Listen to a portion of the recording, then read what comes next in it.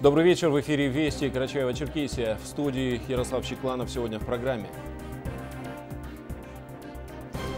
Сегодня руководитель региона встретился с уполномоченным по правам ребенка в Карачаево-Черкесии Ларисой Базалеевой. В Черкеске в рамках Года матери и ребенка состоялся торжественный прием для образцовых семей. Поселок Дамхурц на 4 дня собрал студентов вузов Северного Кавказа на первый южный слет. Завтра исполняется 152 года со дня окончания ожесточенной и разрушительной Кавказской войны. К жителям Карачаево-Черкесии обращается глава республики Рашид Тимрезов. В результате Кавказской войны тысячи людей погибли в боях, многие были оторваны от родной земли, разбросаны по всему свету, что не могло не отразиться на судьбах нескольких поколений адыгов, абазин, нагайцев, других народов.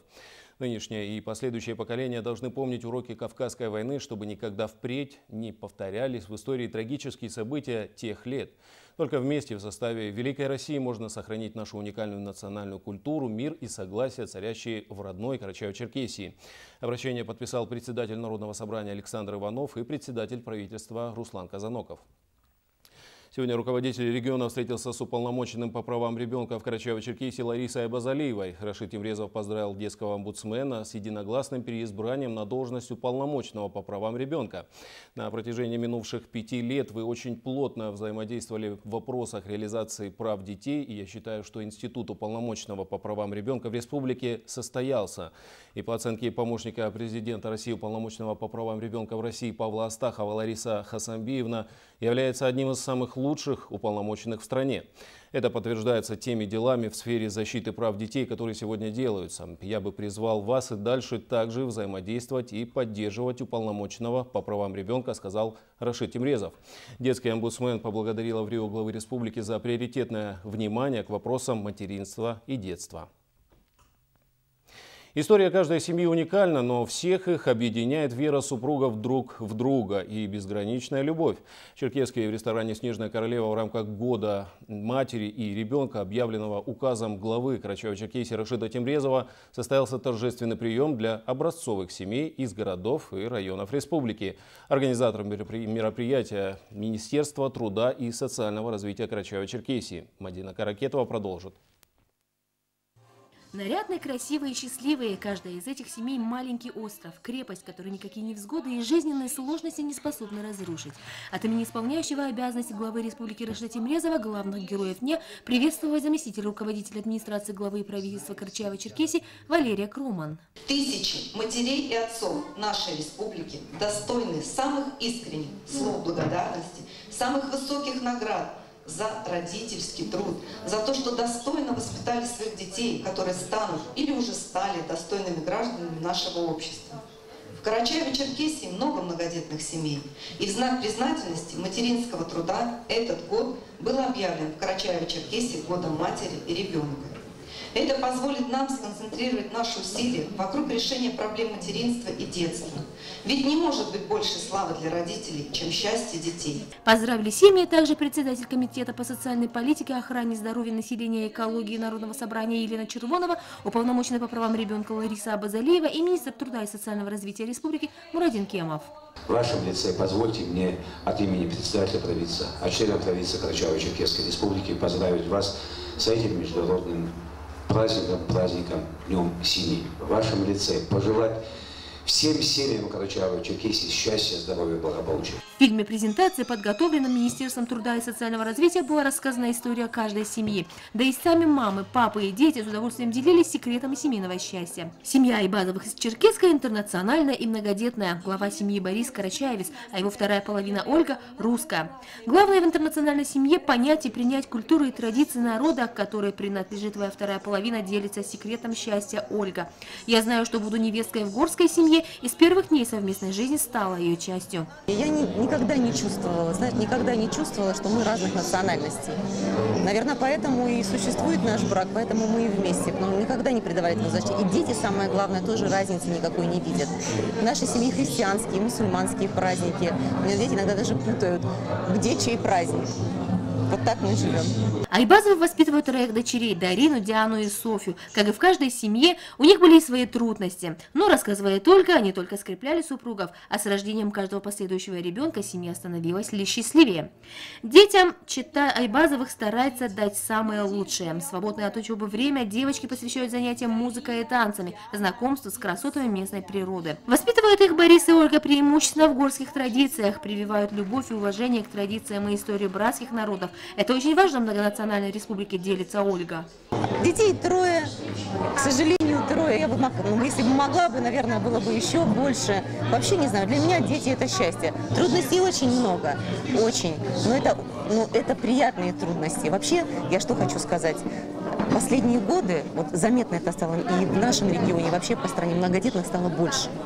Я думаю, это и политика государства, и многое изменилось не только в обществе, но и в сознании самих людей в сознании молодых людей. Вот хотелось бы, чтобы крепких семей, многодетных семей становилось каждым годом все больше и больше.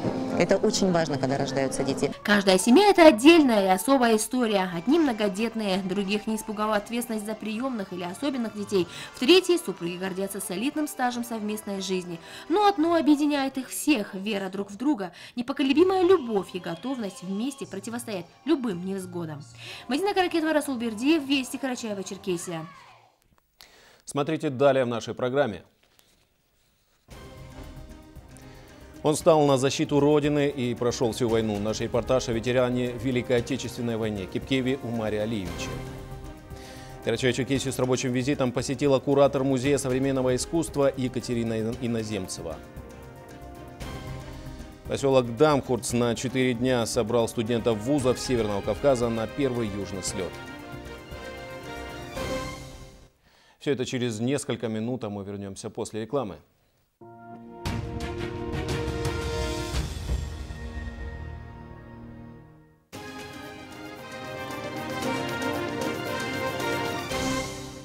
Продолжаем выпуск. Герои среди нас. В Карачаевске проживает ветеран Кипкеев Умар Алиевич, который прошел всю Великую Отечественную войну. Вместе с остальными молодой учитель встал на защиту Родины. В гостях у ветерана Умара Кипкеева побывала наша съемочная группа. Из Карачаевска репортаж Аллы Динаевой.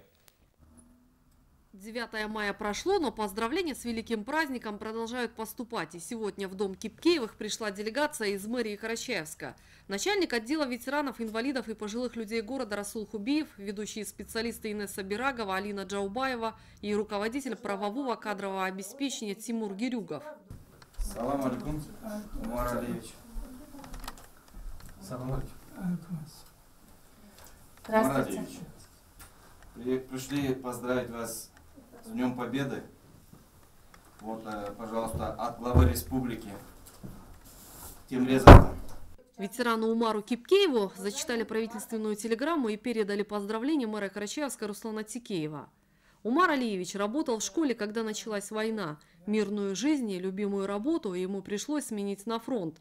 С 1941 по 1944 год воевал на юго-западном и украинском фронтах. Участвовал в Вятско-Кишиневской операции форсирования Дуная – по просьбе гостей ветеран вспоминает истории войны. При этом он становится очень грустным. Как-то на Дунае отбили немецкие автомобили, груженные снарядами, но появились два вражеских самолета, чтобы разбомбить эти машины, и мы разбежались кто куда.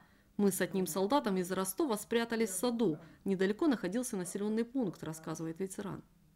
На краю села заметили навес, вот навес а там под навесом подвал открыт сверху. Открыли, прыгнули туда, потом набита солома. Говорю этому товарищу, автомат держи на готове. Почему? Никого нету, говорят, что я буду держать? Ну, я, я же приказываю. Я говорю, здесь старший я. Оказалось, что здесь скрывались четыре немецких солдата. Видимо, они были водителями тех автомобилей, делится воспоминаниями Умар Кипкеев. Их мы взяли в плен и передали нашим зенитчикам. Потом пошли свои ребята, которые охраняли машины, которые мы отбили немцев. Ну, посмотрели, выбрали машину.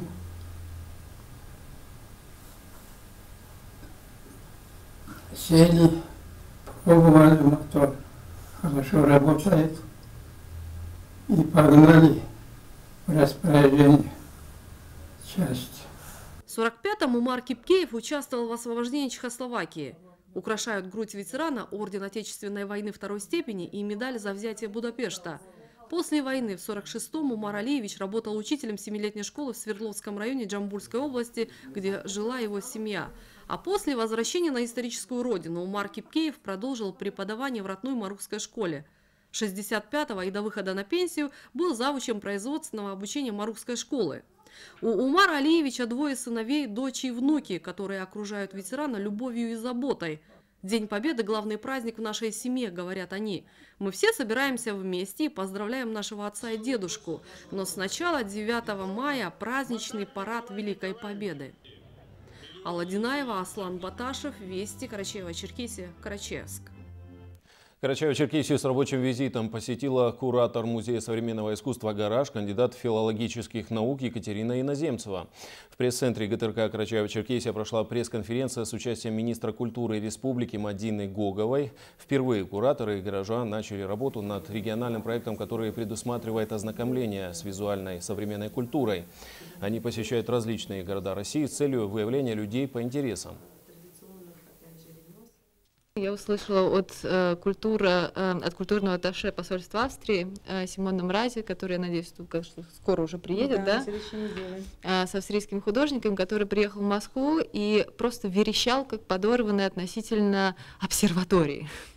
И вот вчера, наконец, э, мне удалось туда попасть, и надо сказать, что в восторге э, Симона я разделяю абсолютно. Это уникальное пространство, уникальное место, и храмовый комплекс и обсерватория. Я понимаю, почему художники со всего мира э, могут найти здесь то, чтобы э, продолжать действовать, работать, чтобы в этой довольно уникальной природной архитектурной ситуации возникло то, что мы называем очень хорошим современным искусством. Наша цель основная — это э, вызвать интерес и э, понять, насколько у нас существует в республике э, вот это сообщество молодых творческих личностей, и потом уже самое главное с ними работать и взаимодействовать.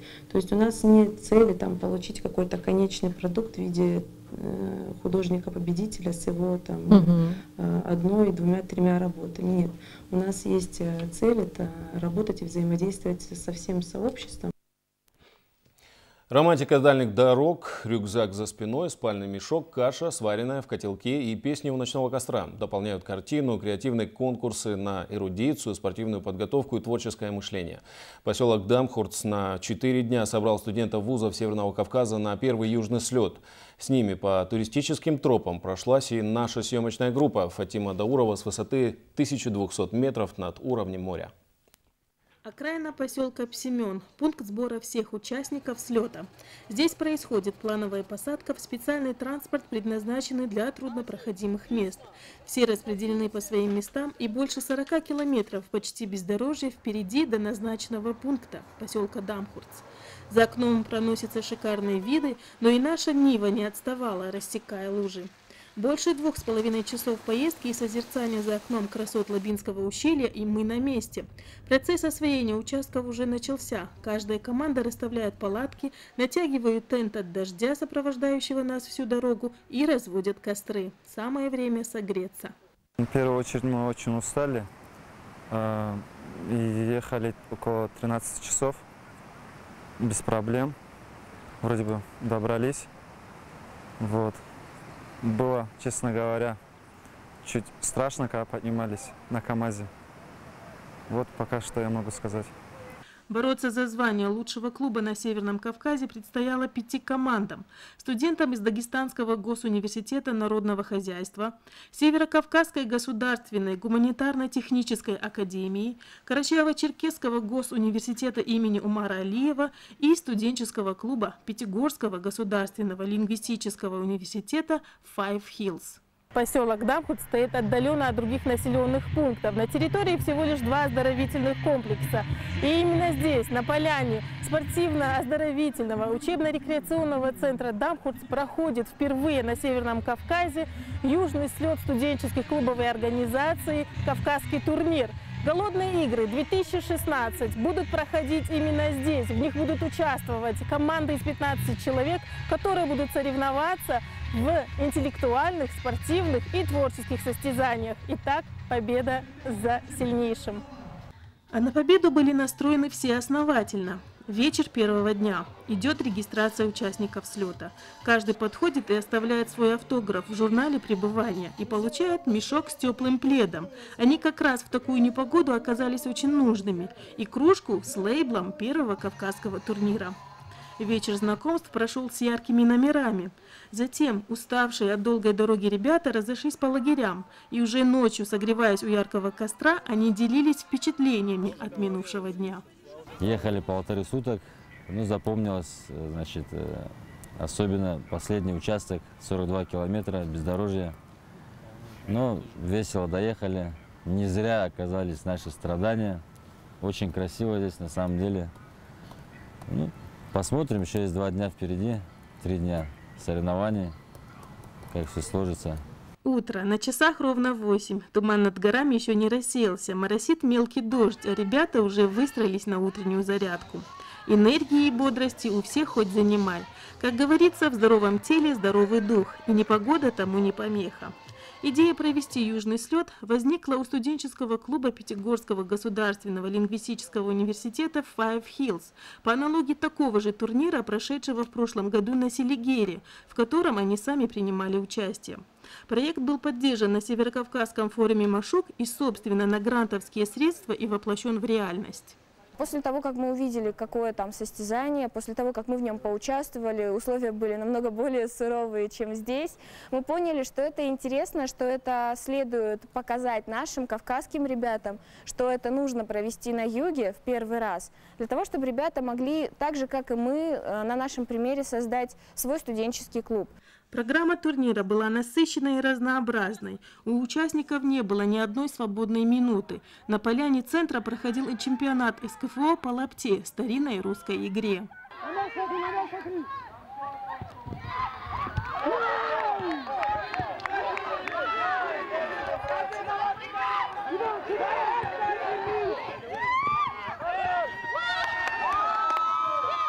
Чемпионом по лапте стала команда СКГТА, проявив большую смекалку и физподготовку. После таких нагрузок на свежем воздухе обед, сделанный на костре в полевых условиях, кажется еще более вкусным и полноценным. Незаменимый атрибут кухни туриста – консервы тоже идут в ход. После вкусного обеда и подкрепления сил команды выходят на следующий этап соревнований – фри-роап – переправа на канате, не касаясь земли. Это сперва кажется легким испытанием, но данный вид соревнований требует от участника особой ловкости, умения держать равновесие и быстроты реакции. Для молодежи это прежде всего общение. Это прежде всего обмен культурой, обмен бытом и обмен этносами. Люди узнают друг друга, узнают другой этнос. И это способствует тому, что межнациональные конфликты, межрелигиозные конфликты уходят в прошлое. Это еще новые знакомства. Борьба была очень жаркой, но лучшей из лучших стала команда из Дагестана. Но на фоне соревновательного духа не мерк и дух единения. Эту задачу ставили перед собой организаторы, чтобы за четыре дня, проведенных в полевых условиях, вдали от цивилизации, ребята проявили сплоченность и стали дружнее. И кажется, им это удалось. Фатима Даурова, Аслан Баташев, Вести, Карачаева-Черкесия, Дамхурц. Завтра в 8 утра на Первом канале музыкально-развлекательная передача «Играй гармонь» будет посвящена Карачаево-Черкесии, а вторую часть смотрите через неделю, 28 мая. Московский театр Росто... ростовых кукол представляет Черкесский 23 мая 18.00 на сцене драматического театра детское интерактивное шоу «Маша и медведь». Это абсолютно новый спектакль по мотивам одноименного мультфильма. Хорошее настроение, звонкий смех и море удовольствий Маша гарантирует. Это все вести на сегодня. Удачи и до встречи.